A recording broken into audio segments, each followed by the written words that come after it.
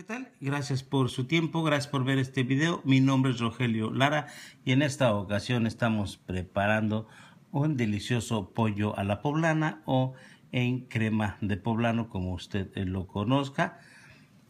Créame que es delicioso. Si gusta acompañarme a prepararlo, vamos. Bueno, aquí tenemos ya nuestros ingredientes listos. Los vamos a ir mencionando conforme los vayamos utilizando y de la misma manera se van a encontrar en la cajita de las descripciones del el video. Aquí tenemos un kilo de pechugas de pollo. Las rebanamos a la mitad, igual las puede dejar enteras, pero dura más su cocción. Las rebanamos a la mitad, ya lavamos este pollo, igual lo secamos con un papel toalla que es muy importante para que lo podamos sellar bien. Ya pusimos sal y pimienta al gusto, solo vamos a reservar para cuando lo necesitemos. Ahora aquí en el vaso de la licuadora vamos a poner dos chiles grandes, chiles poblanos ya sin semilla y los cortamos para facilitar a la licuadora. O puede utilizar también tres chiles poblanos medianos. Estos son grandes, por eso estamos utilizando solamente dos. Igual le vamos a poner, normalmente no lo lleva, pero como lo queremos un poco picante, Vamos a poner un chile serrano. Igual puede ponerle dos, depende de qué tan picante lo quiera. Vamos a poner esto a la licuadora. Con todo aquí bien limpio. Ahora vamos a poner una taza de cilantro.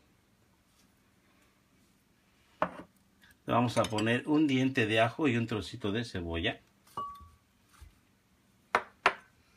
También vamos a poner una taza de leche evaporada. Igual puede utilizar solamente leche, pero leche evaporada le da un sabor un poquito mejor.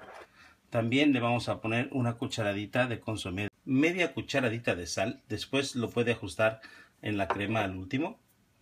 También le vamos a poner una taza de crema de leche, nata de leche o como usted la conozca, crema de mesa o igual puede utilizar sour cream, cualquier crema que sea espesa, crema de leche por supuesto, que sea espesa como esta. Ahora la vamos a poner y vamos a licuarlo lo mejor posible. Listo, ya lo licuamos bien la crema y ahora en un sartén lo suficientemente grande para lo que vamos a hacer. Lo calentamos, aquí ya está caliente, le vamos a poner dos cucharadas soperas de aceite. Y listo, como ya estaba caliente el sartén, ya está listo, ahora vamos a poner las pechugas de pollo para sellarlas, esto es a fuego mediano alto, vamos a poner para sellarlas bien. Aquí después de tres minutos, como pueden ver, ya está así doradito, sellado. Ahora las vamos a voltear todas y lo mismo vamos a hacer del otro lado.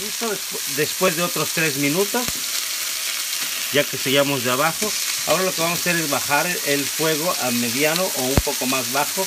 Lo vamos a tapar por unos 5 eh, a 10 minutos hasta que o hasta que ya esté bien cocido. Esto, repito, es a, fuego mediano bajo para que ya esté terminar su cocción. Nos tiene que dar aproximadamente 73 grados centígrados Celsius para saber que ya está bien cocido o que ya no tenga color rosado por el medio. Y listo, 5 minutos más. Podría durar más, depende si es más grueso el pollo. Aquí ya le pusimos el termómetro y nos dio los 165 grados Fahrenheit, que son 73 grados Celsius. Los vamos, los vamos a sacar y ahora sí vamos a hacer nuestra crema. Como pueden ver por eso lo tapamos también para evitar que se quemara la base que la vamos a utilizar. Así bajamos el fuego un poco más porque no queremos que se nos corte la crema cuando está muy caliente ahora le vamos a poner una dos perdón una cucharada sopera de mantequilla y la vamos a dejar que se derrita bien primero. Listo, la mantequilla ya se derritió bien. Ahora vamos a poner, incorporar la crema y vamos batiendo. Y esto, ya que se mezcle bien, eh, lo vamos a dejar así a fuego bajo, solo con un pequeño hervor, por unos 4 eh, a 5 minutos. Ya en 5 minutos ya está, está ya espesita. Igual puede eh, servirla del pollo y después ponerle la salsa encima o solamente estilo espejo. Aquí las vamos a poner en la salsa, las vamos a dejar aproximadamente unos dos minutos más las pechugas en la salsa y le vamos a poner al gusto.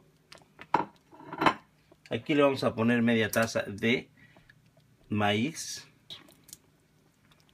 granos de elote o maíz que viene siendo lo mismo.